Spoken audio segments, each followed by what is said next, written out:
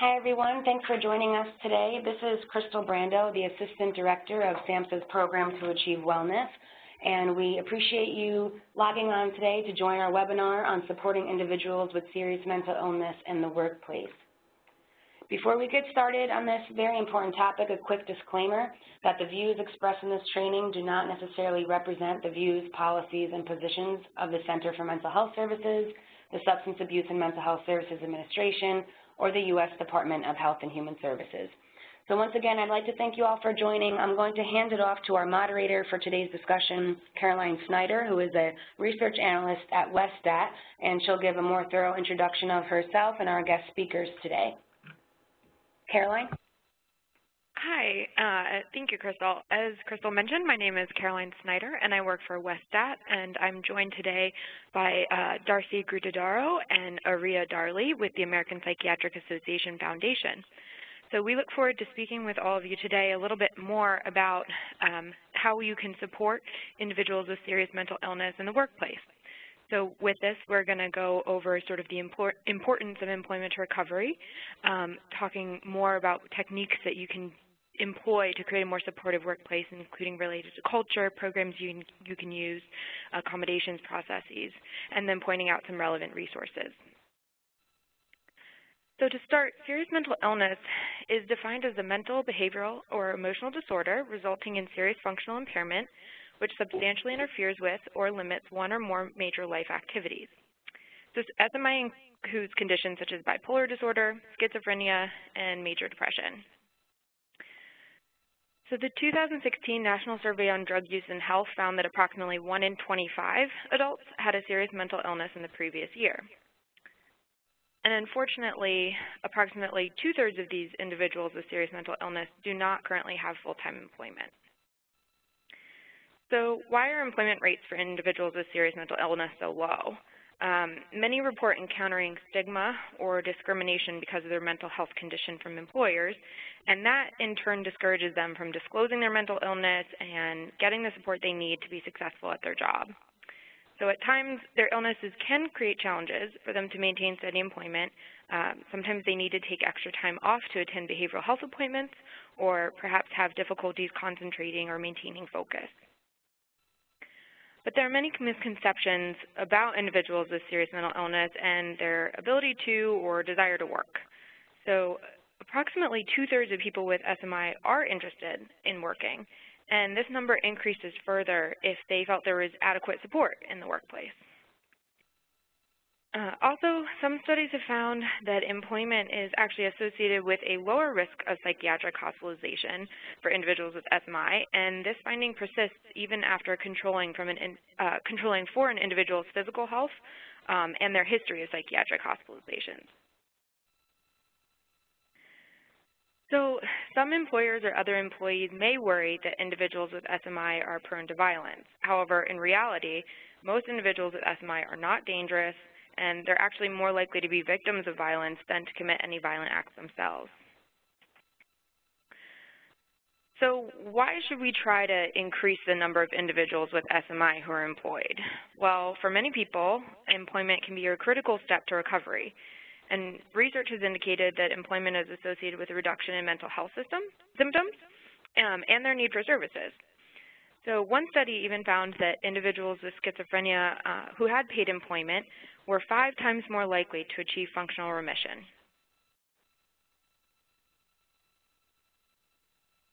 So employment is also critical to an individual's holistic wellness.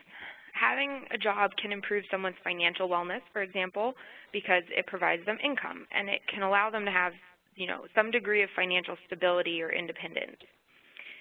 Also, participating in the workplace can help people build relationships and social connections, and it can provide them with a way to feel more integrated into the community. And then finally, being able to work can be highly valuable to help someone's self-esteem and self-worth. It can give them purpose and meaning, both of which are very important elements to recovery.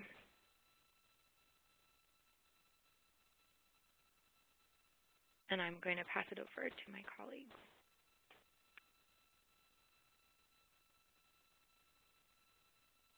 That introduction. And um, really now that we've heard about the importance of employment to recovery, we're going to talk a little bit about how at the Center for Workplace Mental Health, we are really um, helping employers understand how to create a mentally healthy workplace and the importance of doing so so that people with mental illnesses are comfortable in the workplace and really can help them succeed. So we really approach this with four principles in mind for driving change in the workplace. And I'm going to talk about the first two, and then my colleague Aria Darley will talk about the second two. So the first really is about knowing the impact.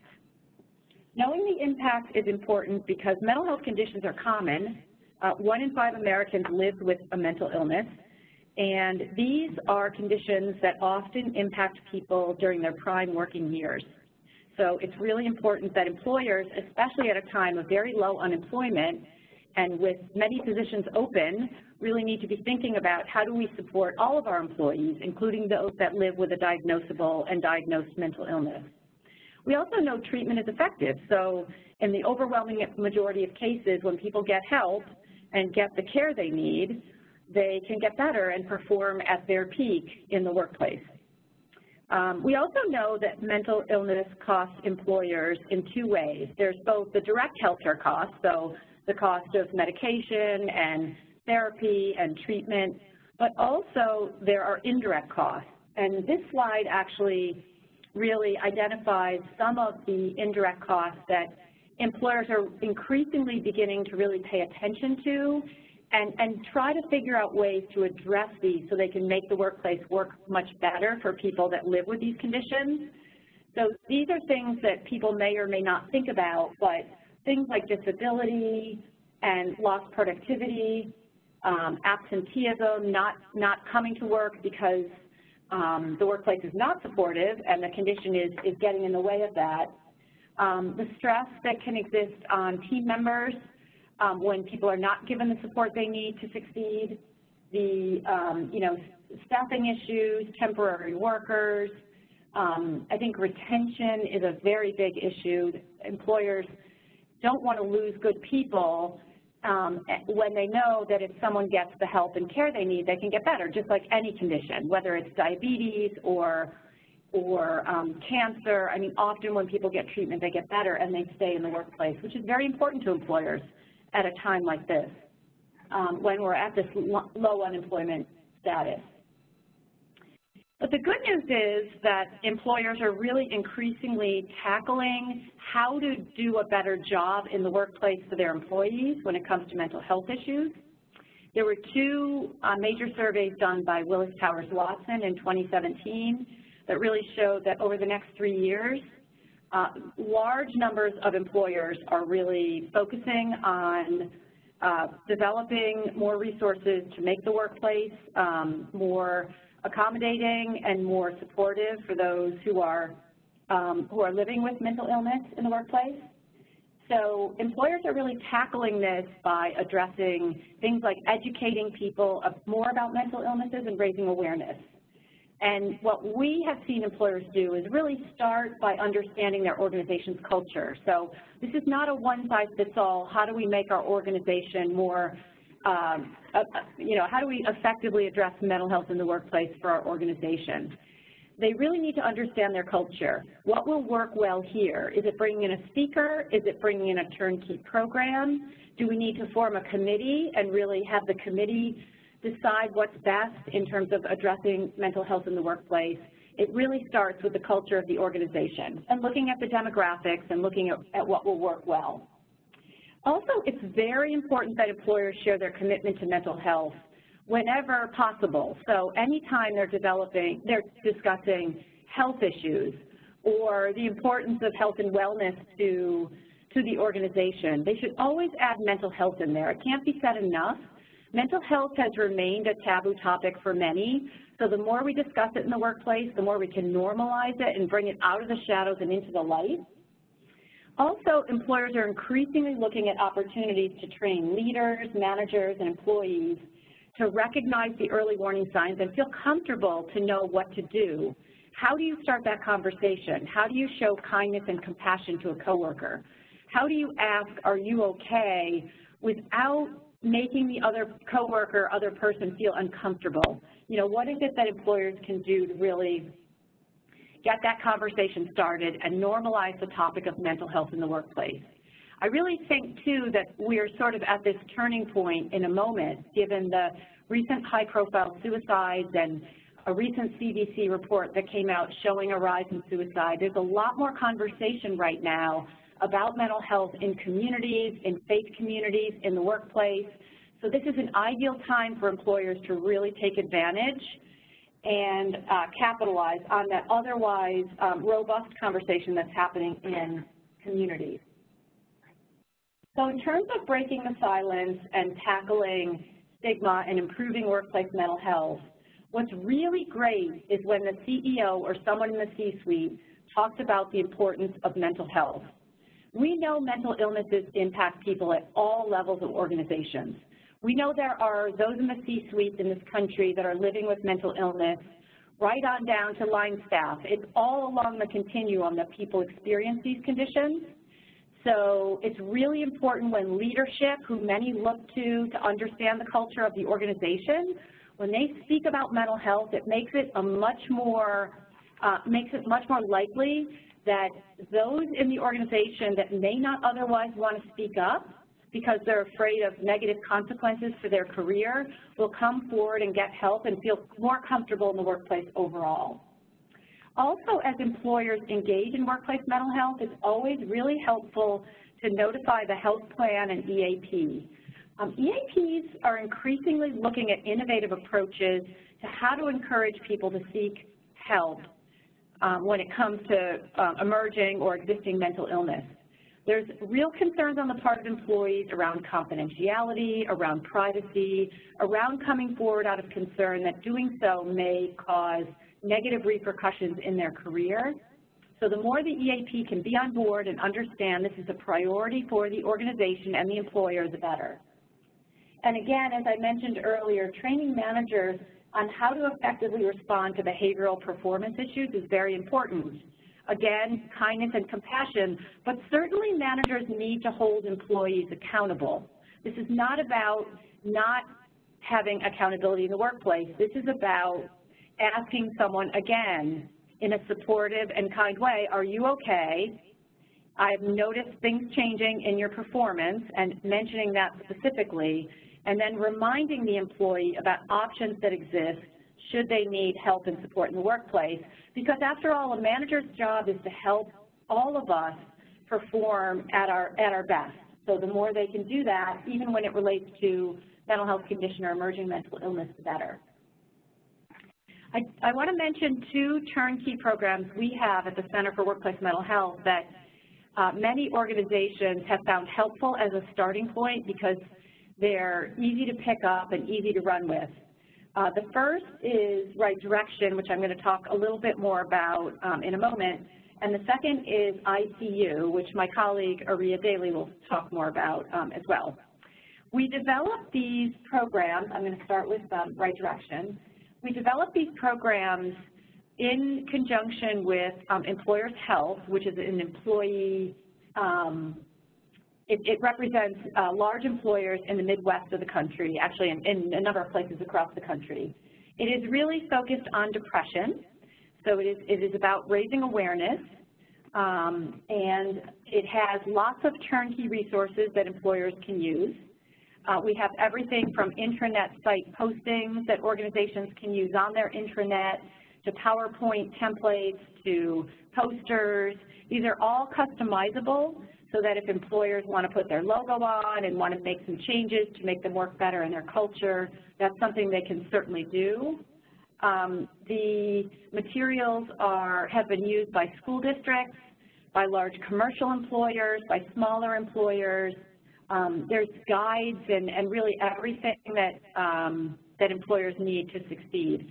I also wanted to mention that we're currently undergoing a research study with Kent State University on Right Direction, where we've taken 50 months worth of data and we're actually looking at the impact of the program on things like EAP use, um, accessing mental health care, uh, productivity, performance, retention, and other issues. So we're really, the early results are showing very positive um, upward trajectory with EAP use on the part of employees, so we're really excited about that, but we will be publishing it because as we know, employers are really interested in what's effective, what works, what will lead to, um, to the best results. So um, at this point, I am going to turn it over to my colleague, Aria Darley, with, with one other thing I wanted to mention, and that is um, we also have on our website, if you're interested in kind of what are other employers doing, we have 70 case studies that really go into detail on different approaches, diverse approaches different organizations have taken to addressing workplace mental health. So I'd really encourage you to look at those um, to learn more. So at this point, I'll turn it over to Aria. Thank you so much, Darcy. Uh, Darcy mentioned uh, right direction, and now I'm going to talk a little bit about ICU. So the letters ICU can really be interpreted to mean I-S-E-E-Y-O-U, so I see you. And it really encourages employers to create an environment where it's safe for employees to connect with one another, to really care about one another, and also to support one another whenever that is needed. And the core of this campaign is a five-minute video that teaches employees how to, I, identify the signs. So maybe you've noticed that an employee is not like themselves or maybe um, they're a little withdrawn. And then C, you want to connect with that person. And this is no way mean um, is a way to be intrusive or a way to pry into other people's business, but you truly authentically care and you want to just connect with that person. So you may just ask, are you okay? I noticed that you haven't been yourself lately. And then finally, the last letter, U, just means to understand the way forward together. So ultimately, employers are really equipping employees to recognize the signs of distress and refer each other to resources that really already exist within your organization. So it could be HR, it could be the Employee Assistance Program, it could be mental health and substance use benefits, whatever it is that you're promoting within your workplace. So ICU was developed by DuPont and delivered to over 70,000 of their employees worldwide. It was really given to the center because they saw so much success and they wanted to generously um, donate it to the center to make it available to all employees, I mean employers and employees. And um, with that, we have two versions of uh, ICU on our website currently and we're going to be offering two additional versions in Spanish language and Portuguese very soon. And this is made um, possible through the uh, another global organization um, that adapted the ICU initiative. So just like Right Direction, this initiative, this initiative fits within the branded structure of any organization, and it has a full implementation guide um, and a PowerPoint deck for those who may be implementing it to present it to the C-suite or to leadership to really make that business case. It also has downloadable and customizable flyers, email templates, and what's really important, pre and post evaluation forms. So you can really determine the effectiveness of the actual initiative.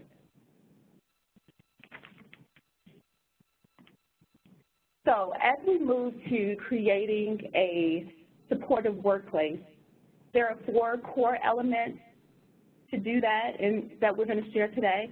These core components are essential in really helping individuals with serious mental illness maintain employment and to maintain employment in a successful manner for them to be productive and just to be able to stay and keep employment. Um, one of them would be delivering affordable access to mental health care and building a culture of well-being. The others would be having a defined accommodation, accommodations process, and then finally developing a plan with the employees. So I'm going to talk in depth about the first two, and Caroline will discuss the latter.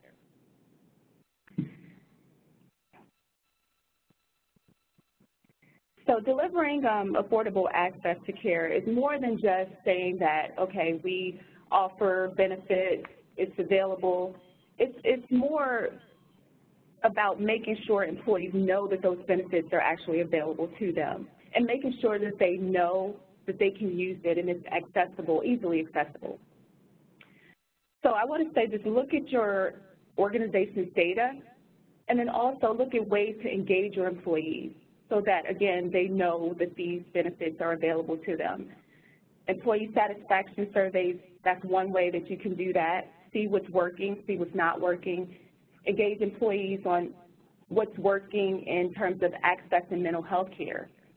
See if they're having difficulties or, you know, if they just stop um, with the process because it's too difficult. Look at your claims data and EAP data, and I'm going to go into a little bit more depth about the EAP data as well. Finally, you want to provide health risk appraisals, but make sure you include mental health questions. And when you do that, you can also connect with your EAP vendor and have them find out ways that they can support you in um, being able to communicate with those who may screen positive for any kind of mental health condition.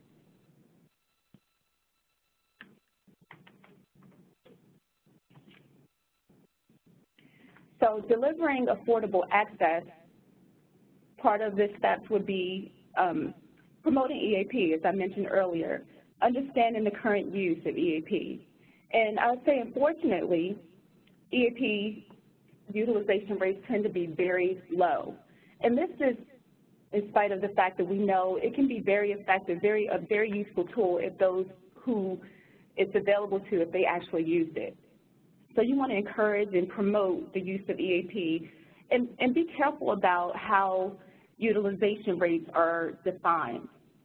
Instead of a phone call for information and how you determine utilization rates, you want to make sure that you're measuring utilization in terms of getting those who need certain services, that they're connected to those correct services, not just a phone call. So if you want to examine your organization's mental health benefits. Think about it. What, what's covered in these mental health benefits? Is collaborative care being offered? Are the CPT billing codes really being turned on to even allow collaborative care to be uh, accessible?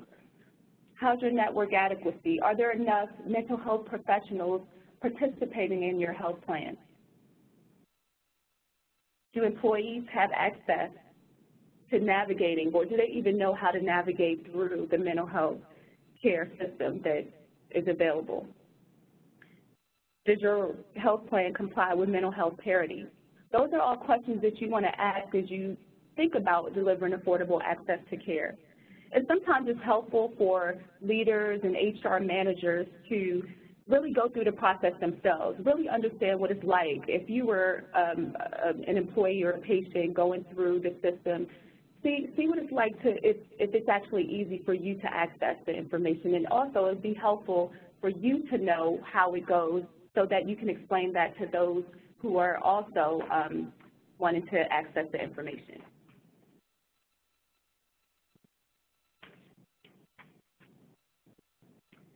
So once we do those, we talked about breaking the silence and delivering affordable access to care and all of those different mechanisms that we want to have in place. Now you want to move into building a culture of well-being.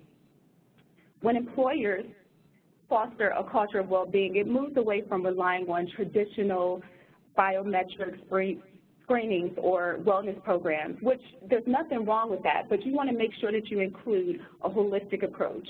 And that holistic approach would also include emotional and mental health programs. Areas that have the biggest influence are really those that include these cultural shifts that involve leadership. It involves shared values and effective communication within that environment. It involves showing and creating an environment where employees can really treat one another in a way that they want to be treated. Trust and commitment are really important. They're central to any kind of cultural shift. And if you think about it, just for your own workplace, imagine what a cultural shift would mean for you. For employers who are implementing effective mental health workplace strategies, the yield is so much greater than, than just cost savings. Darcy mentioned some of the things about what lies beneath, some of those hidden costs. It's really more than that. Companies that support well-being of other employees will find higher engagement, they will find loyalty, and that all correlates to productivity and effectiveness and good business results. It also will result in higher productivity and all of those things that will add up in cost savings. And every work environment is different. So I would say look at what is important for your own workplace. What are value, what are the valuable tools and information that's important to your employees? And really build on those things.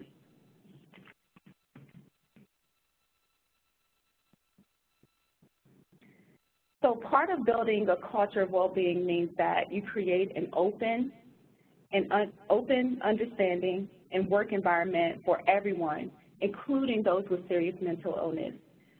Creating an open and understanding workplace means that you show and you reinforce the values that are important to your your environment, but then it also means that you're including those employees with serious mental illness and you include those with any kind of mental illness overall, just as much as you do physical health.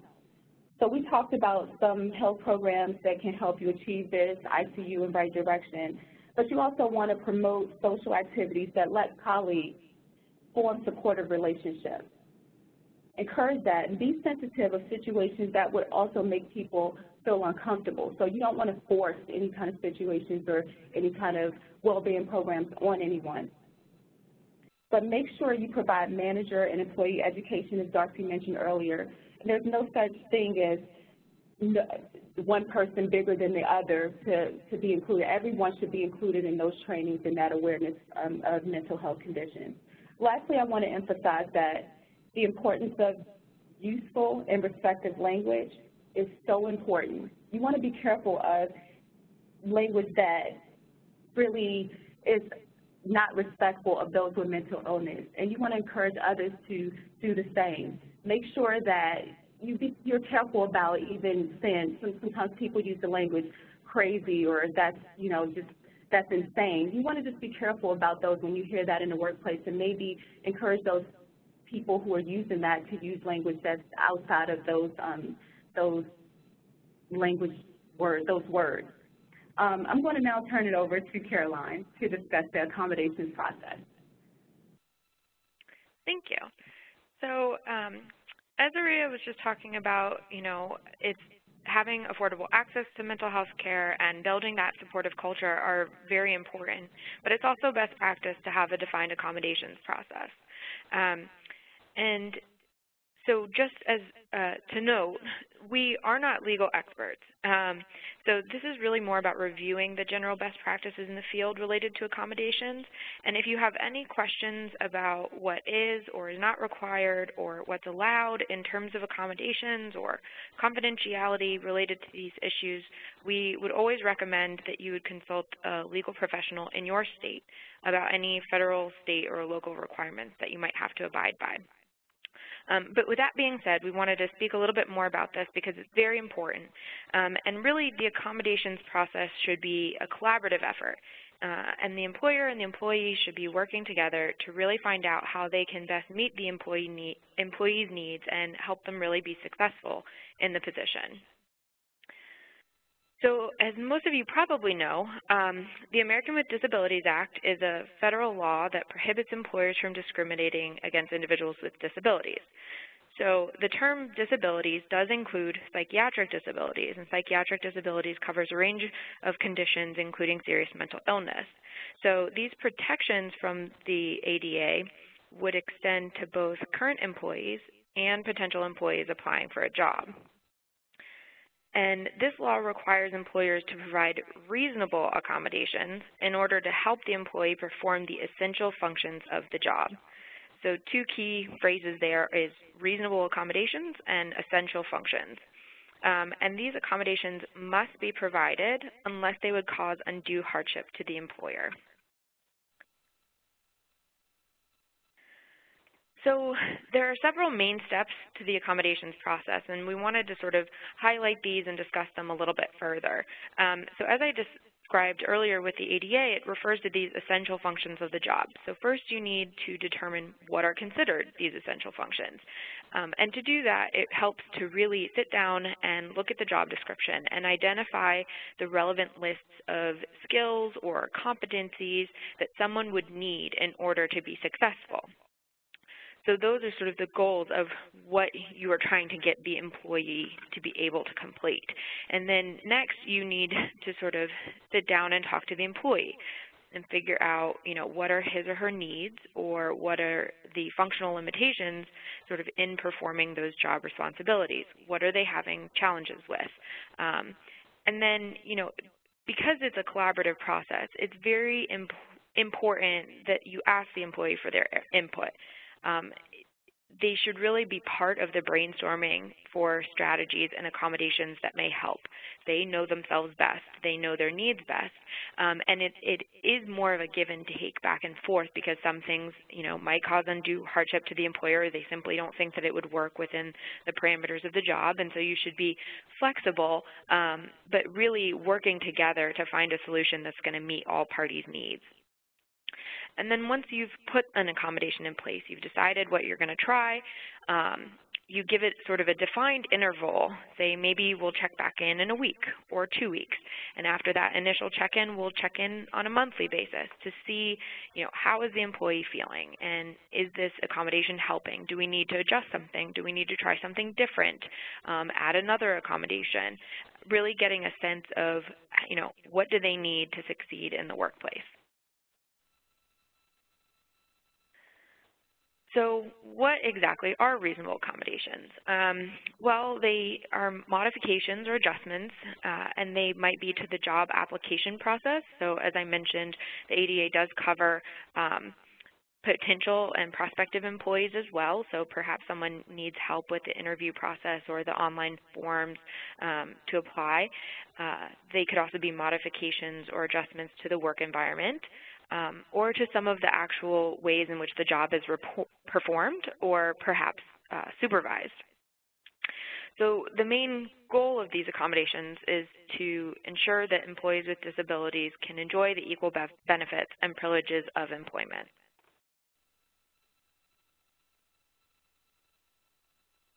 So there are a number of accommodations that can be put in place, and if you're you know struggling to come up with what would work best for the employee, there are a number of resources out there that have specific examples. We'll talk about a little a few of them now, but um, we'll list those resources at the end of the presentation. And please do go and visit those websites and those organizations because they they have a lot of examples about things that you could try if you don't know where to start.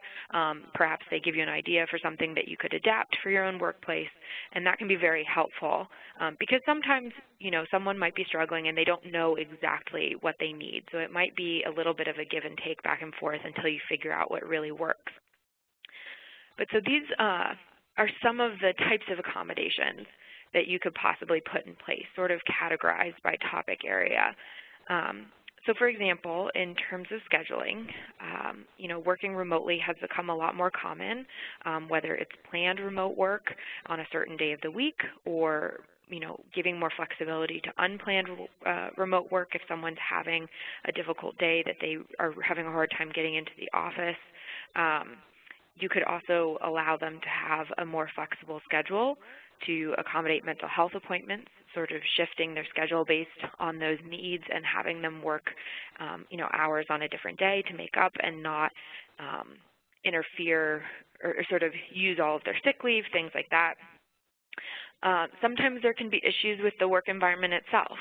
Um, so maybe they're struggling to concentrate, and you could move them to a different part of the office that perhaps perhaps less, you know, has less foot traffic, or you could provide them with um, noise-canceling headphones to kind of drown out some of that background noise.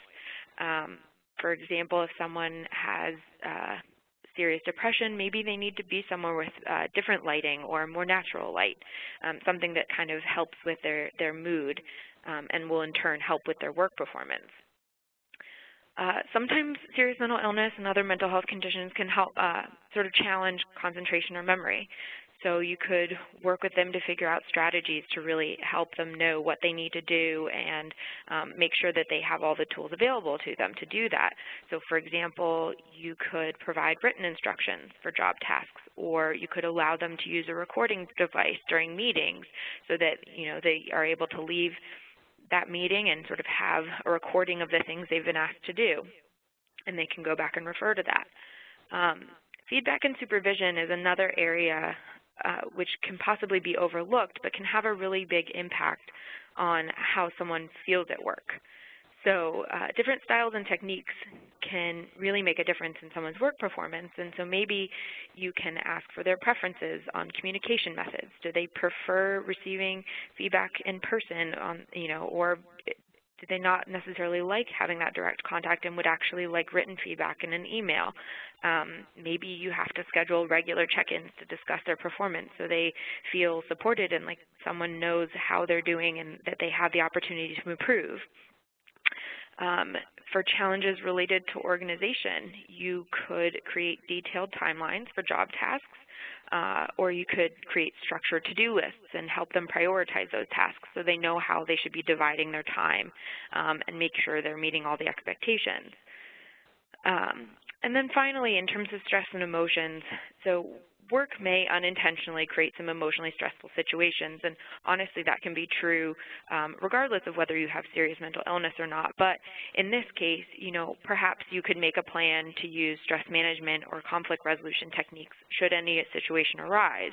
Um, you really have to go with all of these accommodations, as I said before, something that really gets at what the employee's needs are and what they need to feel as though you as the employer are being more supportive.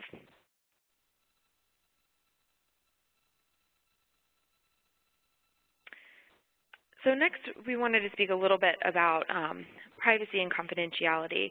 Um, and the truth is, is that you know this is uh, can be a very sensitive issue, obviously.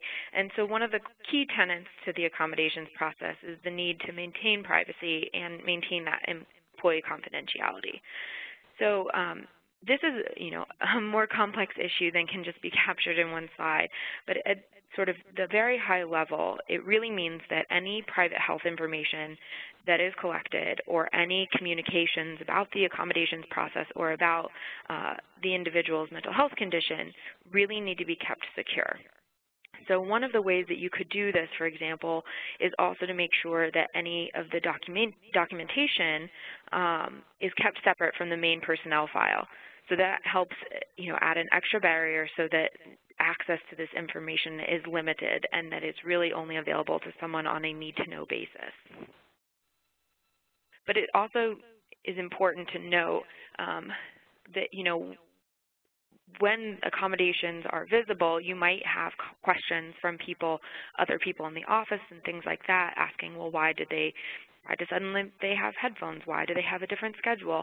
Um, and, you know, we would recommend um, as I said, always consult with a legal professional or the Equal Employment Opportunity Commission or the Office of Disability Employment, um, you know, for specifically how to handle those situations. But the main um, principle is always maintain the privacy and confidentiality of that employee and find a way to communicate any changes about the workplace environment in such a way that does not disclose their disability.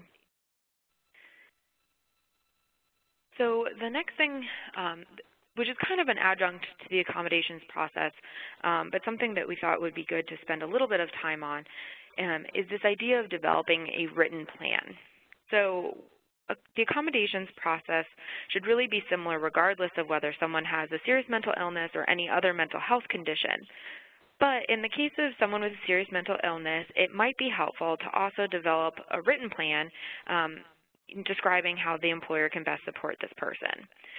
So this plan can include the employee's goals because ultimately the goal is for um, the accommodations and everything to help the employee succeed. So you want to know what are those goals? What are we trying to accomplish? Um, it should detail the planned accommodations and sort of what your plan is for you know, assessing their impact and seeing whether or not they're working. It's also possibly helpful to identify potential stressors in the employee's life. Um, you know, are they stressed about um, family, finances, obviously any conversations with that you should be sensitive and only um, ask for things that the employee is willing to disclose. But if that's something that they would like to be noted, um, it can be helpful to understand what's going on in their life that might impact their work performance. And then it's also helpful to potentially detail a planned response if the employee appears to be unwell. What are their preferences? You know, make a plan now while the employee is doing well so that if anything seems to change, um, you know how to handle it and also the employee knows what to expect and that they're able to kind of give their feedback and communicate their preferences.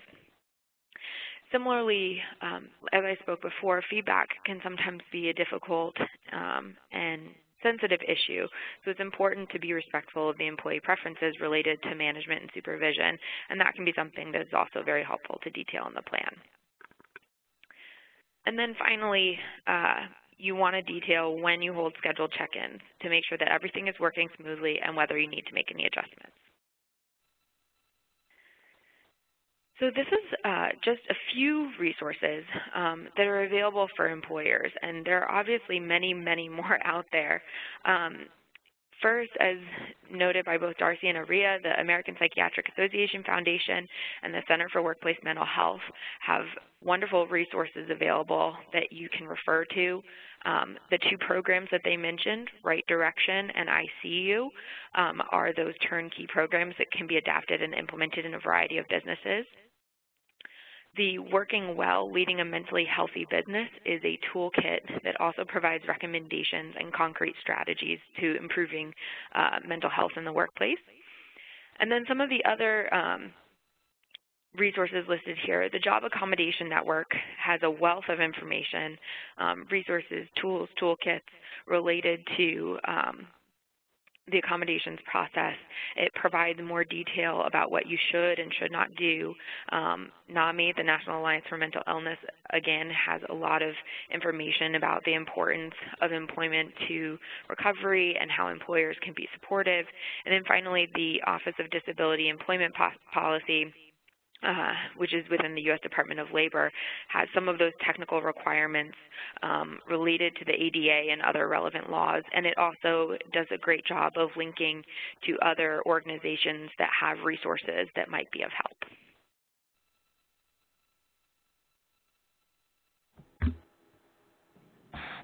Great, thank Hi, you so Oh, sorry, I was just going to say, go ahead. I know Darcy had something to add. Sorry about that. Go ahead. Oh, no problem. Thank you so much. I did want to mention something that I, I forgot to mention during uh, the presentation earlier, and that is the role of caregivers. Um, employers are increasingly recognizing that employees who have a loved one with, especially with serious mental illness, because some of the um, needs can be significant, particularly early on. So employers are increasingly recognizing the need to support their employees that may be serving in a caregiver role. Uh, we actually did, we recently published a blog on our website about a, a mom whose son developed schizophrenia when she was uh, a software developer at IBM, a highly valued employee, extremely productive, and um, when schizophrenia kind of hit their family, she needed to take a, a considerable amount of time to help him um, find a treatment facility. As she said, she could sometimes take, she sometimes had to take time during the workday to contact different facilities because that was the only time the business office was open at those um, treatment centers, I shouldn't say facilities, treatment centers and hospitals. And so uh, the challenges can be quite significant, not just for um, caregivers of adults living with serious mental illness, but also parents of children who may be experiencing the early signs and onset of a mental illness, who are often called away from school, called away from work to go to school to pick up their child. Um, their child may have appointments during the day that they need to attend to. So um, employers are really focusing much more on caregivers, recognizing the role they must play for their loved ones when they have a serious mental illness and the National Alliance for Caregiving, NAMI, and Mental Health America put out a report in 2016 called On Pins and Needles, Caregivers of Adults with Mental Illness, that I think gives a really nice um, explanation of the experience of those that care for a loved one with SMI. Um, but again, the, this does not only apply to adults, it applies quite, um, quite a bit as well to children and youth. So um, employers are really beginning to uh, find ways to um, help employees feel comfortable talking about this in the workplace when they need to take time away or supporting them through the day and giving them extra time to help secure care for their loved one. So I think we're going to see more and more of this happening because employers that don't want to lose good employees and they recognize that if they don't support them through the process of supporting their loved one, they're really at risk of losing very good people. So the one thing I would say about the blog we posted, and most of our blogs go out to, we have about 10,000 on our list of employers. This was one of our highest hit rates, so that was assigned to us in terms of click-through rates, that was assigned to us that employers really value the information about what to do, and we have some recommendations in the blog that the mom who wrote it came up with that were excellent policy recommendations and otherwise on what employers can do to really support caregivers of those with um, serious mental illness. So I did want to mention that. I didn't want to forget it. It's extremely important. Great. Thank you so much for adding that. Um, and a huge thank you to all three of you, Caroline, Maria, and Darcy, for sharing this information. Um, Caroline started this webinar off saying how 1 in 25 adults or 4% of adults have a serious mental illness. Um, and it's important to remember that um, even on top of that, 1 in 5 has any mental illness according to the National Institutes of Health. So for an employer, um, there's a chance that 1 in 5 individuals in that workplace are dealing with a um, mental health challenge, and so having this information is very important. Um, what we're going to do now is hop into the Q&A session of today's webinar. Um, we have quite a few comments that have come in about how helpful this information is. So again, uh, Caroline, Darcy, Maria, we can't thank you enough. Um, and we have a couple of questions that we'll put out to you as well. And I just wanted to let you know, as we get into the Q&A, you'll be seeing um, a file share document on your screen with an occupational wellness uh, MP3. So what you see on your screen now is a podcast created by SAMHSA's program to achieve wellness that goes into a little bit more detail on some of the topics that we've talked about today in a bit of a storytelling fashion.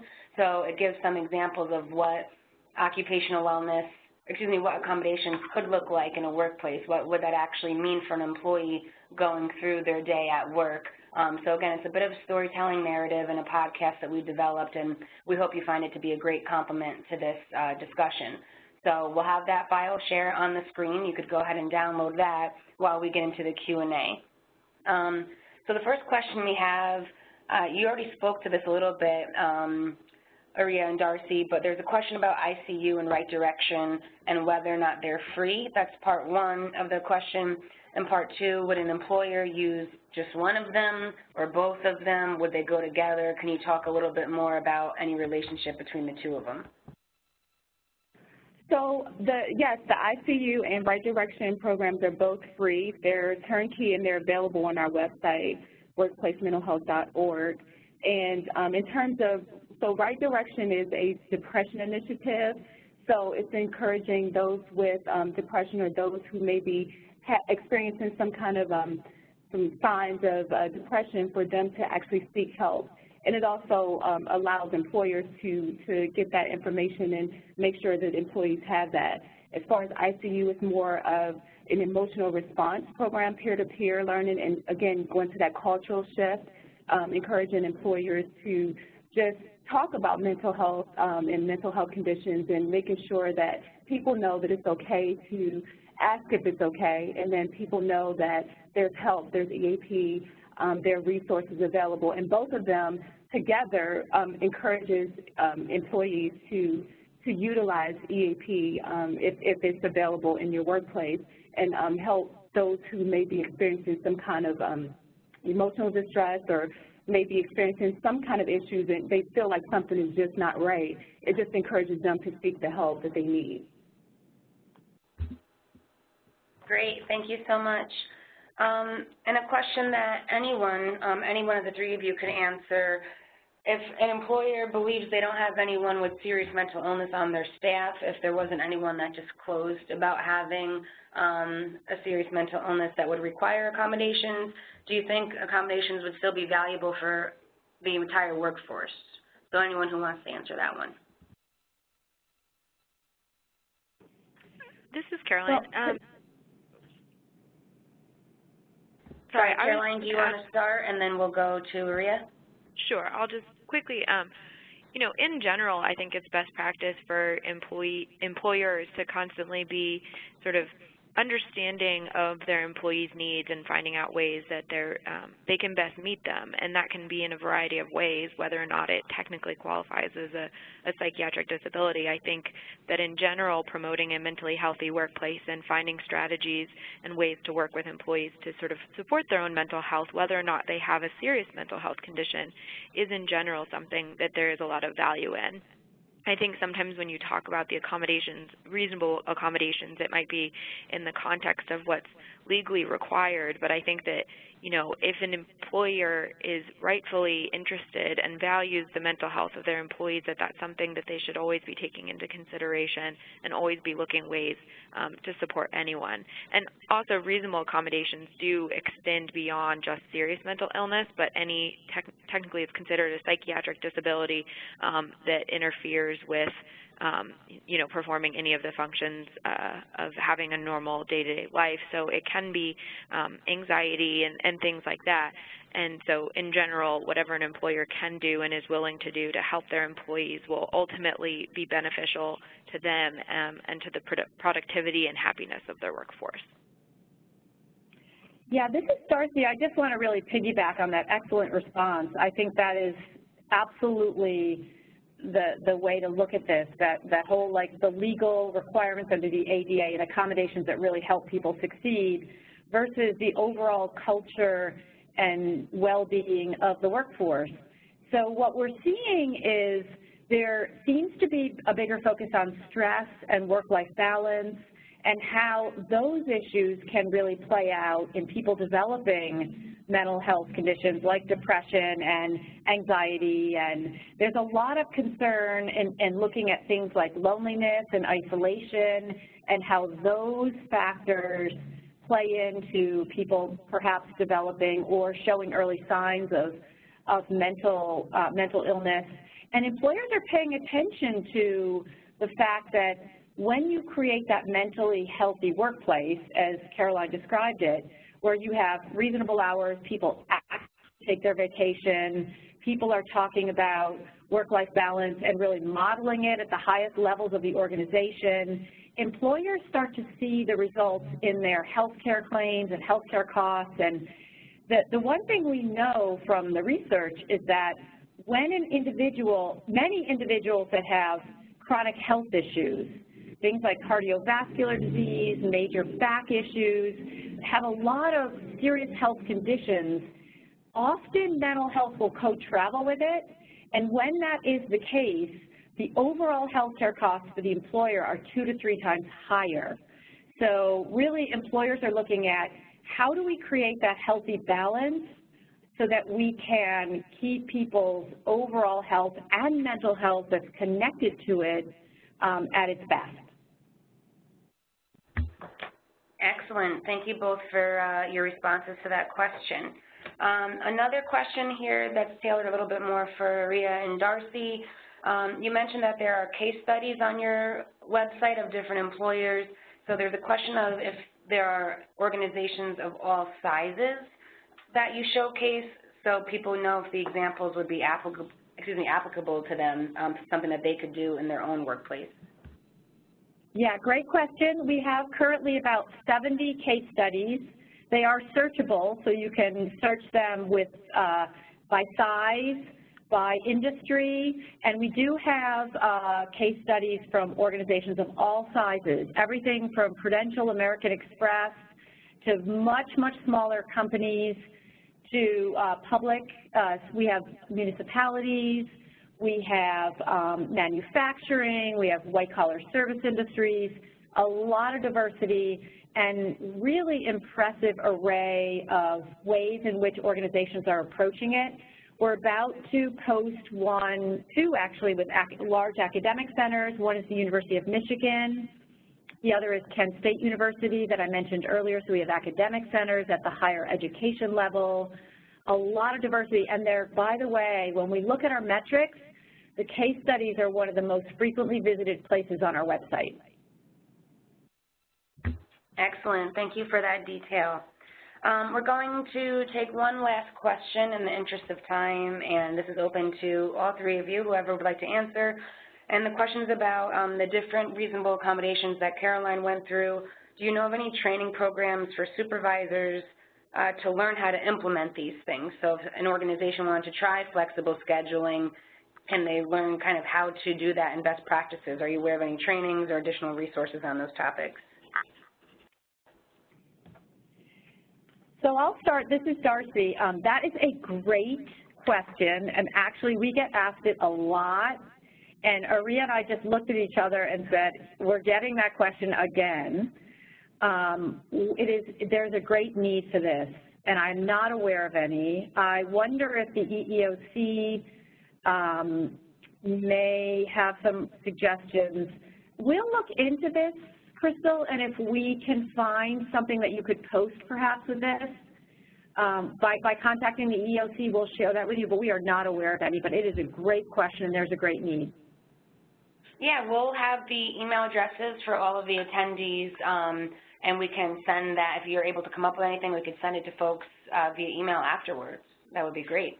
And I just wanted to add, um, I don't know of a specific sort of static training, but um, I would definitely recommend checking the Job Accommodation Network because they do do trainings, they do um, webinars and things like that. Um, so they might have something in their training library, although I haven't um, delved as deep as I would have liked to into it recently, um, that might fit that bill um, and sort of cover those topics specifically. Excellent. Great recommendation, Caroline. Thank you. Um, so like I said, in the interest of time, that was our last question. We're going to wrap up. Um, as a reminder, the session is being recorded, and the recording will be available on SAMHSA's YouTube channel. And in the meantime, everyone joining today's webinar will get a copy of the slide deck emailed to you, as well as a certificate of participation. And we'll try to also um, email this podcast that's on the screen. So once again, you have the file transfer box up on the uh, window, and it's a podcast on occupational wellness and talks about um, reasonable accommodations and how to support individuals with uh, serious mental illness in the workplace. So that's a podcast developed by SAMHSA's Program to Achieve Wellness. Um, I'm on it, so if you download it, you'll hear my voice again. And it also features uh, Jasmine Brando, the co-founder of Humankind Workshop. So different speakers from today's presentation, but a similar topic that we hope you'll find uh, valuable and a great supplement to what you heard today. So with that, I would like to say thank you once again to Caroline, Aria, and Darcy for this very meaningful uh, conversation. And we thank everyone for joining us and hope you have a great rest of the day. Thank you.